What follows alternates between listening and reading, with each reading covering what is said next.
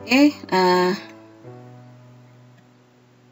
yang selanjutnya yaitu yang selanjutnya yaitu uh, kita buat bentar.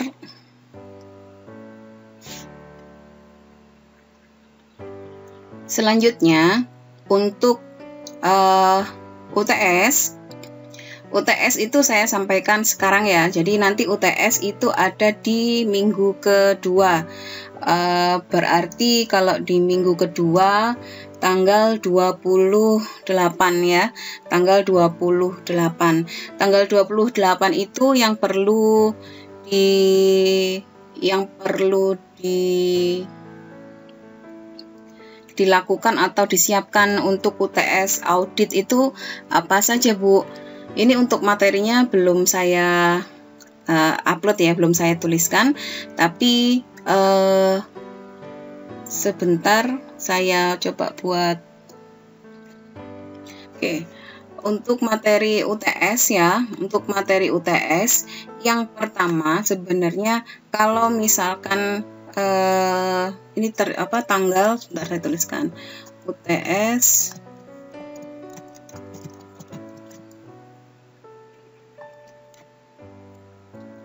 28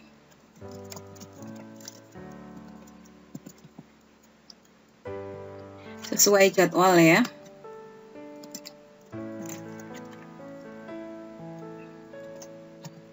sesuai jadwal Oke, apa saja yang dikumpulkan? Nah, yang dikumpulkan adalah eh, abstrak ya. Abstrak itu sudah ada isinya adalah yang pertama yang sudah kelihatan uh, judulnya. Judulnya ini nanti bisa diubah karena temanya dulu. Uh, judul judul kasar ya atau tema yang akan diangkat. Terus uh, ruang ruang lingkup permasalahan terus kalian solusinya menggunakan apa?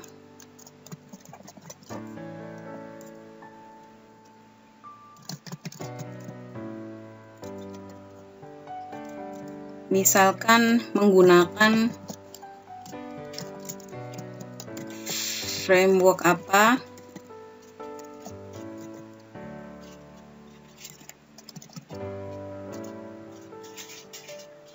sementara ini dulu. Jadi uh, permasalahannya, ruang lingkup masalah, terus uh, latar belakang masalah. Ini latar belakang di abstrak ya, bukan latar belakang yang panjang. Oke, uh, di sini terus pustaka sementara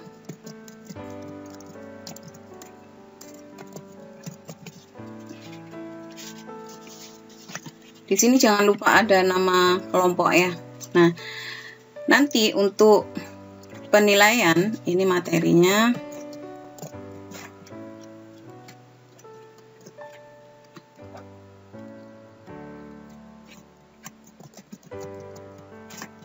Yang pertama saya cek uh,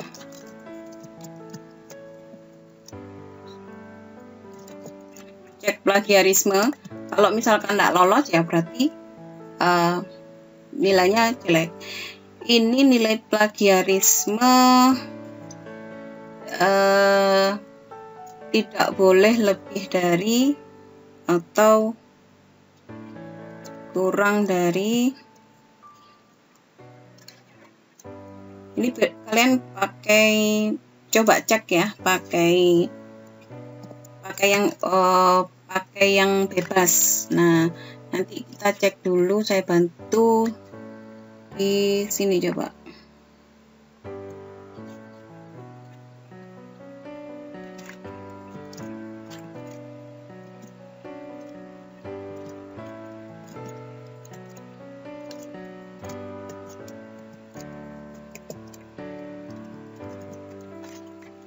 Bisa menggunakan di sini terus bisa menggunakan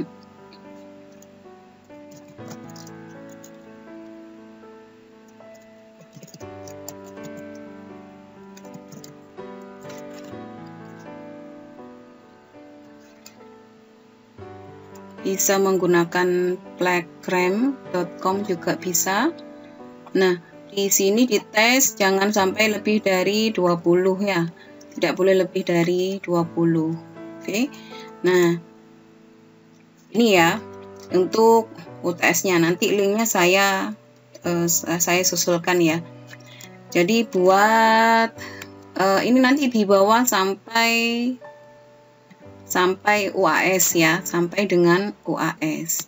Nah, terus yang selanjutnya kalau misalkan kalian mau bonus, nah bonus sebenarnya eh, apa namanya? Ha, me, maju apa? Sambil menyelam minum air sekali mendayung dua tiga pulau terlampaui nah bonusnya adalah bonusnya adalah kalian kalau misalkan ikut ikut sebagai peserta dan uh, ikut sebagai peserta dan presenter nanti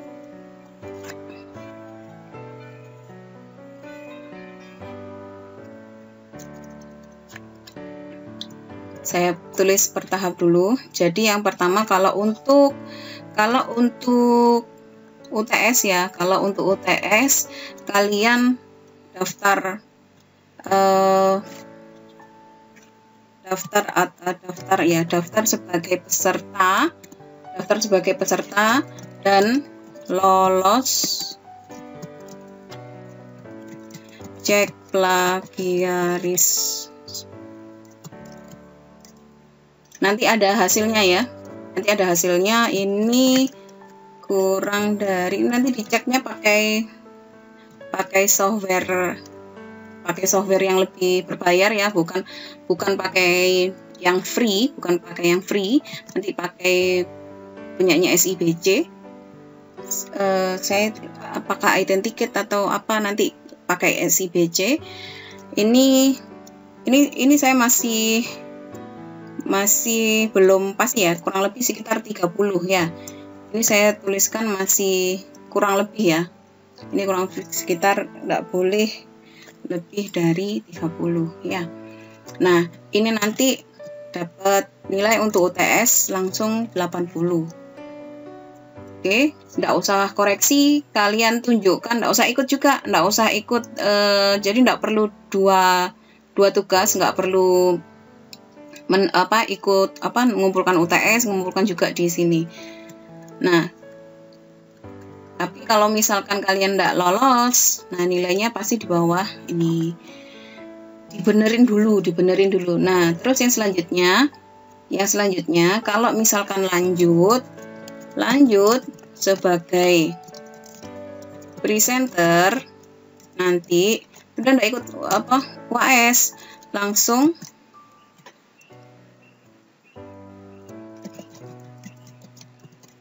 nilai UAS 100 ini ada presenter loh ya. Jadi kalau misalkan ini sebagai presenter. Jadi bukan bukan nebeng ya. Bukan nebeng sorry sorry. Bukan nebeng di ini tapi sebagai presenter. Jadi uh, ada apa namanya kalian menunjukkan bukti sebagai presenter. Nah, ini langsung tidak usah ikut UAS, sudah nilainya langsung 100. Nah, terus tipsnya bagaimana Bu kalau misalkan eh, apa namanya? teman yang eh, satu yang satu lagi bagaimana Bu? Nah, ini ya enggak seba, ya sebagai presenter nanti nilainya kalau misalkan kalian misalkan terus kalau misalkan ndak nilainya present apa ndak nilainya sama dengan presenter terus bagaimana Bu? Ya alangkah lebih baik kalau misalkan memang mau seperti ini sekalian gunakan sebagai skripsi ya. Sehingga apa? Sehingga kalian sudah dapat tema tema utama. Sehingga perlu nggak perlu kelompok. Kalian individu maju maju sebagai individu terus apa artikelnya sendiri nanti bisa digunakan untuk yudisium ya bisa digunakan sebagai uh, apa namanya untuk pendaftaran yudisium terus temanya juga sudah siap untuk dilanjut ke apa namanya ke skripsi. Apakah harus saya nanti sebagai dosen pembimbing? Tidak mesti, masih banyak dosen yang lain. Ya, jadi tidak mesti kalau misalkan saya mengajukan uh, saya seperti ini, tidak mesti harus ke saya. Silahkan kalau misalkan uh, banyak sekali dosen yang memahami audit sistem informasi nggak mesti harus bimbingan ke saya nggak usah takut. Nggak usah takut ap apakah uh, kalau misalkan saya sudah te muncul tema seperti ini saya harus bimbingan ke Bu Siti enggak, enggak mesti harus. E, yang penting kalian punya celengan untuk lanjut seminar proposal itu saja sih sebenarnya target saya untuk memotivasi teman-teman bagi yang terkhususnya bagi yang belum punya tema sehingga kalian makanya di sini saya istilahkan bonus selain nilainya bisa langsung 100 ya Nanti nilainya juga pasti update untuk UTS-nya. Nilai UAS, UTS pasti update. Nah, uh, bonusnya lagi adalah kalian dapat tema uh, untuk skripsi. Kalau misalkan enggak, silahkan uh, yang jelas kalau misalkan ada ma ada dua mahasiswa dalam satu paper, yang satu presentasi, yang enggak presentasi nilainya enggak sama dengan yang presentasi. Itu sih dari saya. Jadi saya cukupkan sekian. Uh, citasinya, oh ya untuk semuanya, baik yang UTS, baik yang apa, uh,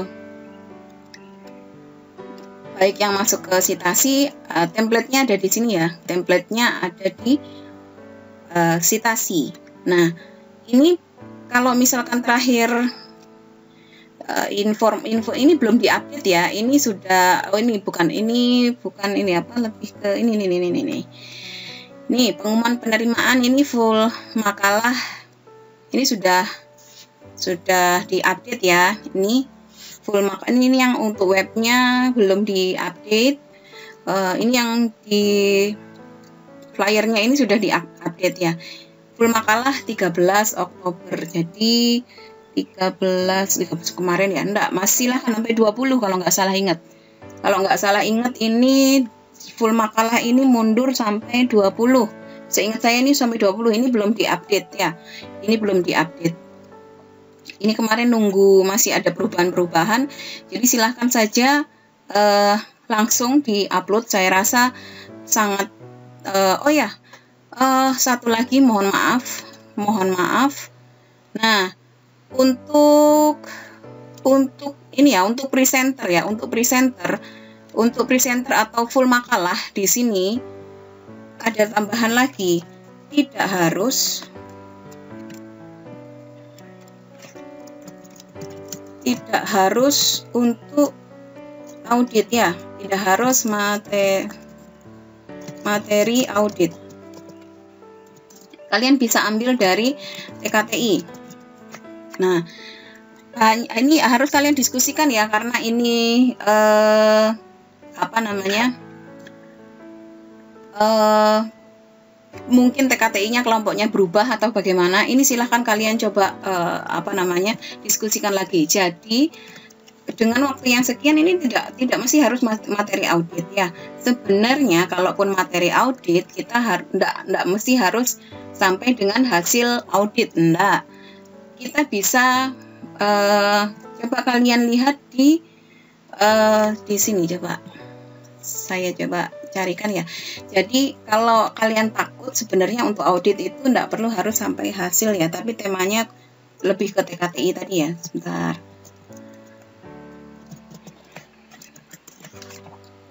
Jadi contohnya seperti ini. Contohnya uh,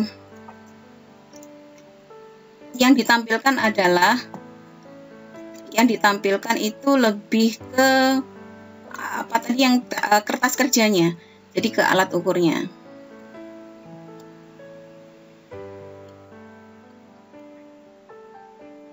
Kalian coba lihat sebentar alat ukurnya.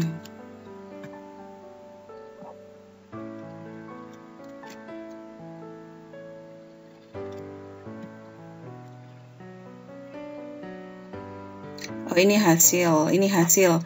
Um, ada beberapa yang dia uh, yang dia itu lebih ke alat ukurnya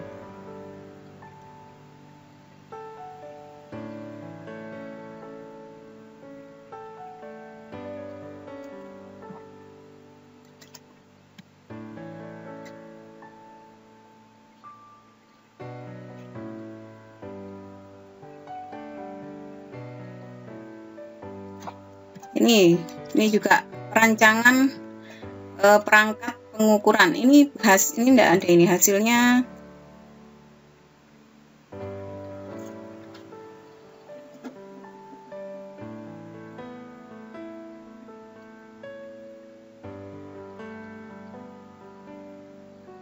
Ya jadi kalau yang ini seingat saya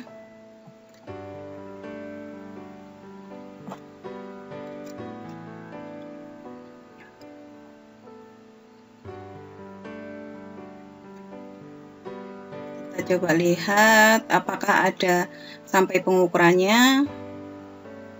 Oh ini ada hasilnya. Ini ada hasilnya ya ini ada sudah ada hasilnya. Kalau misalkan sampai penentuan penentuan alat ukur sampai di sini saja. Jadi sampai penentuan alat ukurnya kalian jelaskan, tidak perlu sampai hasilnya kalian jelaskan uh, rumus ini tuh dapatnya dari mana ya udah uh, itu saja sih sebenarnya ndak uh, intinya kalian punya apa namanya punya jurnal apa yang yang pertama adalah jangan gunakan yang sudah pernah publish. Jangan gunakan yang sudah pernah publish atau uh, mungkin digun uh, atau bagaimana ya. Nah ini coba uh, dicek lagi plagiarismenya.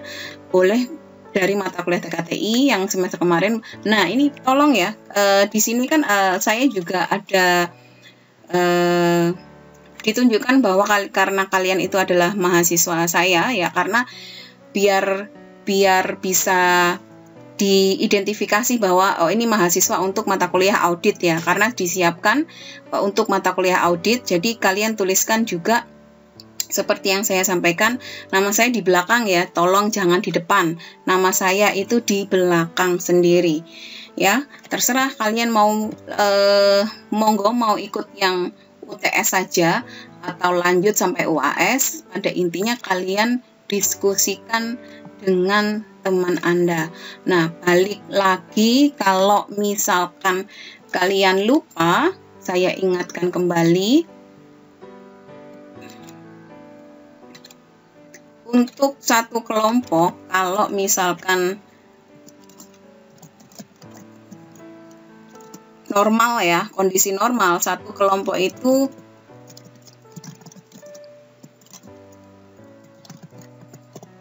Oke, seingat saya seperti itu. Karena di sini biar lebih kalian fokus dan apa tidak tidak saling tergantung satu dengan yang lain ya. Harapan saya dengan dua mahasiswa ini saling bekerja sama. Nah, seperti yang saya sampaikan tadi, kalaupun ternyata kalian akan gunakan akan gunakan untuk skripsi, ini kalian lakukan secara individu juga boleh. Ya, dilakukan secara sendiri boleh. Oke, Sementara itu untuk pertemuan minggu ketujuh sukses untuk UTS-nya ya. Semoga semoga banyak yang ikut uh, sitasi untuk memeriahkan uh, acara seminar nasional pertama untuk prodi kita ya. Semoga banyak yang ikut. Targetnya memang untuk memeriahkan. Semoga uh, sukses acara pertama seminar nasionalnya, kalian juga dapat bonus nilai juga. Dikondisikan bagaimana nanti kalau misalkan ada pertanyaan yang uh, yang tidak saya sampaikan di video ini, kita bisa diskusi di uh, grup WA. Sekian dari saya untuk materi minggu ke-7. Sukses untuk semuanya, sehat untuk semuanya. Selamat selamat siang. Assalamualaikum warahmatullahi wabarakatuh.